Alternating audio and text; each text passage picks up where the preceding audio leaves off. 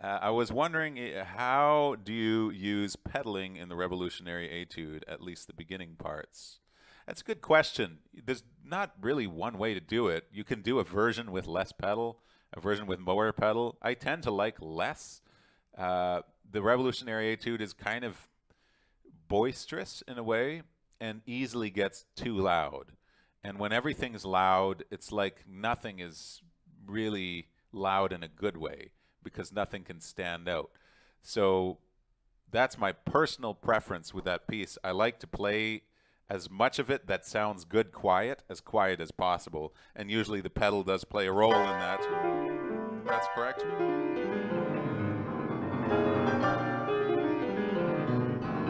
See here I'm pedal, pedal, pedal, pedal, pedal, pedal, pedal.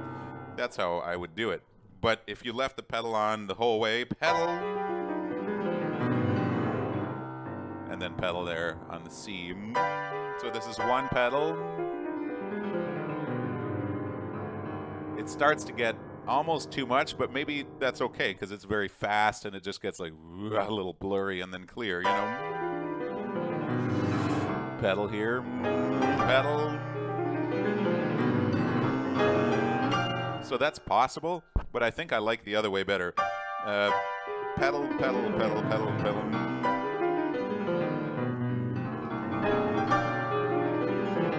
Know, so there's a lot of things you can do with that.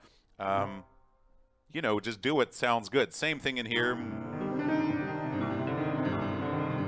What this is pedaling only on the bass note. So here, sorry, uh, do that again. Here, here, here, here.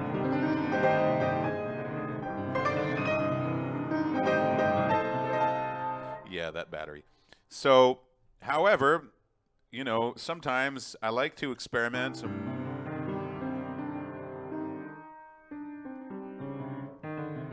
pedaling at the top of the line in the left hand. So, or even a half pedal. Not this one though, not that E flat, but this one.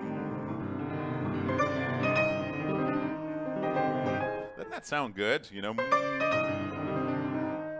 pedal up there instead of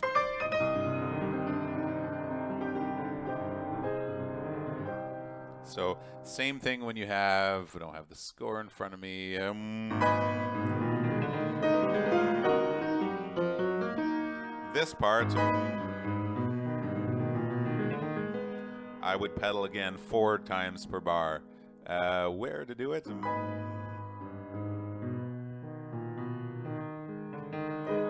On the second finger in the left hand. Here, here, right? So you don't have the problem of that minor second in, in low keys blurring things up. So you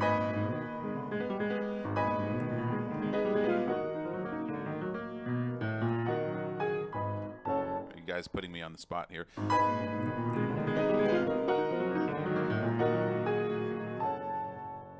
So that I like that. Sounds very good. Lots of lots of uh, changing the pedal. Lots of pedaling, which kind of means less pedal in a way. So uh, there's a part at the end when you have that Neapolitan uh, come as well. Um,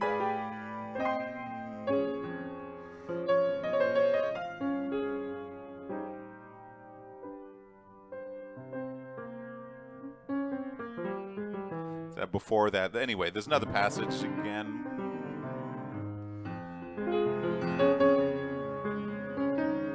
When the left hand reaches the top of its line, I like to pedal that. I, I really love the way it changes the texture, very much in the same way as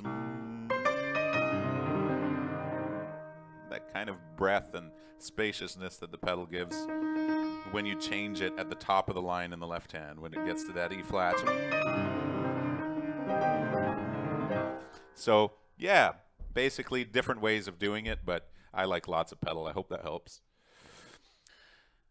I prefer less pedal too. This is back to the Chopin Revolutionary Etude. But not being fast enough makes non-pedal parts sound stiff. Yeah, that's a good point. It's true. That's no pedal. With pedal. Okay, you brought up a good point. You're absolutely right about that. Depending on the speed that you play it, you'll have different pedal. So the slower you play it, a little extra pedal sounds good.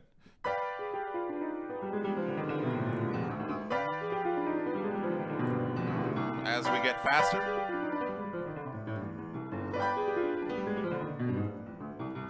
I would have to spend a few minutes practicing that. You know, how would I practice it? You know, I think we've done enough videos on this. I like to do this, and I have a problem with my thumb not going in the right place. I might even accentuate the thumb just once. That was close. That's not a musical thing, it's just to make sure I'm on the right note. There was one mistake with the two here. Yes, same one. it helps when you look at patterns as well. Like, okay, well, the two is on Bs and F naturals. Know, and then I like, we've done all these in the in the other videos, so you can look at that if you're playing that piece. But definitely, speed changes the the pedal, uh, the pedaling. What sounds good uh, uh, slow might not, or what sounds good fast, pedaling wise, might not be the same slow. So all those things go together.